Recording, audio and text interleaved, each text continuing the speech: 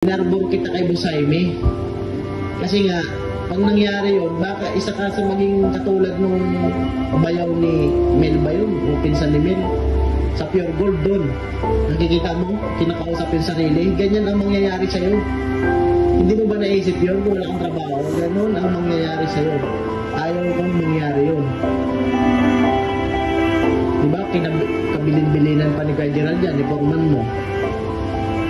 Di ba? Para maging maayos ka. Para maging maayos yung sarili mo.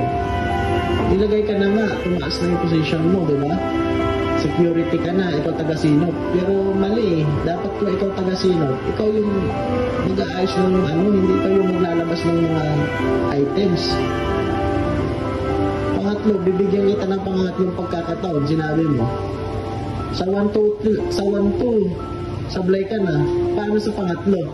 Bigyan mo ako ng promise mo. Tatlong promise na hindi mo nagagawin yon. Hindi lang promise, panunumpa mo. Hindi sa akin, sa mata ng Diyos. Bigyan mo ako ng tatlo. Ano.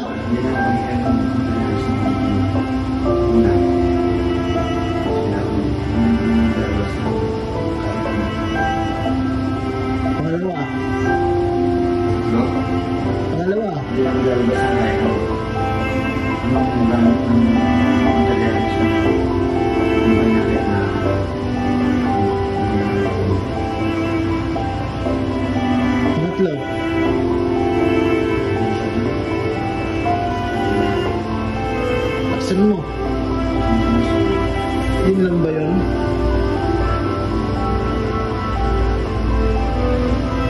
Ayos tingin mo. Dapat dapat ka mabigyan ng pagkakataon ulit. Ha? Tumingin ka sa akin. Hindi ka sincere. eh.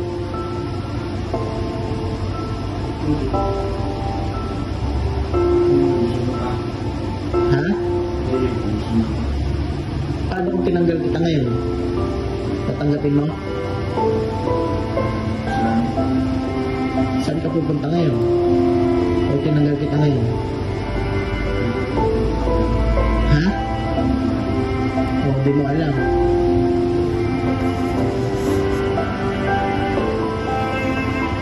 Nahawa kami sa'yo.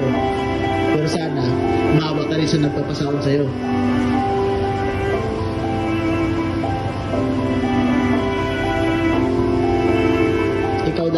Maging mata dito sa site. Pero tinutolerate mo yung mga kasamaan mo rin na tumago ng mga materialis. Ano sinabi ko sa'yo? Simula ngayon, kung papatawarin man kita, tandaan mo, lahat ng nakikita mo, sabihin mo sa akin.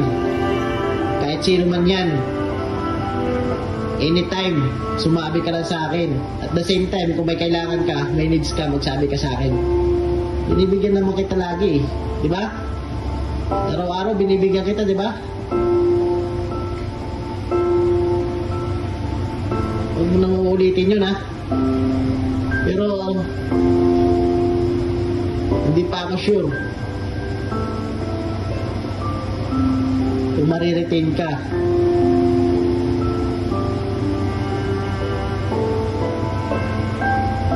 Ayusin mo yung trabaho mo, ha?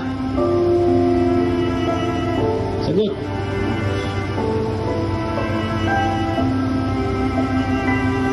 Tumingin sa akin. Ayusin yung trabaho mo.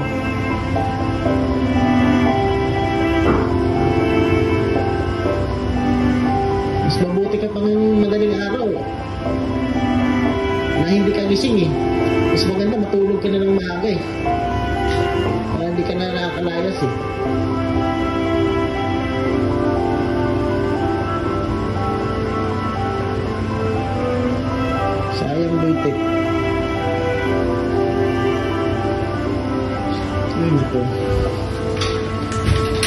Sana ang pagkakilala mo sa akin. Sabihin mo sa akin harapan. Umarap ka sa akin. Umarap ka dito. Tumingin ka sa akin. Yan. Anong pagkakakilala mo sa akin? Ha? Mabait lang? Matulungin?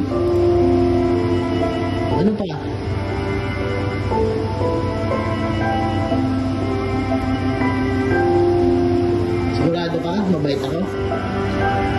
Ha? Sigurado ka na mabait ako? Sagot!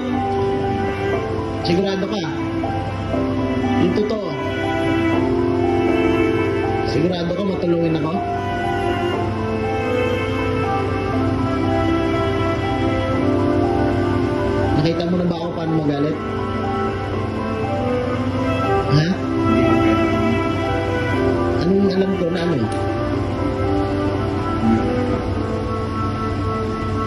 Nakita mo na ba ako magalit? Hindi ko pera. Na alam ko na ano? Sabi mo, pag nagalit ako, iba. Pero nakita mo na nga ako magalit. Hindi pa. O, bakit kailangan yung gawin yun? Yan ang sabi ko sa'yo, bakit kailangan mong gawin yun? Mabait pala kami sa'yo, mabait pala, di ba? Ba't kailangan mong gawin? Sana maging aral na sa'yo yan. Di ba? Tandaan mo yan pangaral ko sa'yo ha. Hindi lahat ng bagay masusolusyonan ng pagnanakaw. Kung nahihirapan ka, magsabi ka sa amin, magdasal ka. Di ba? Nandito kami para tulungan ka, para mag-grow ka. Di ba? Di ba, that time, in-increasean ka na agad namin ng sahod. Para maging maayos buhay mo kasi hindi sapat kinikita mo, sabi mo. Tapos nililikom namin yung ano mo, para meron kang savings kasi hindi ka nagsisave. Binibigay mo at pinangiinom mo lang. Kasi gusto namin maging maayos yung buhay mo. Kung papatawarin kita ngayon, sana tumino ka na. Huwag ka nang gagawa ulit ng hindi maganda.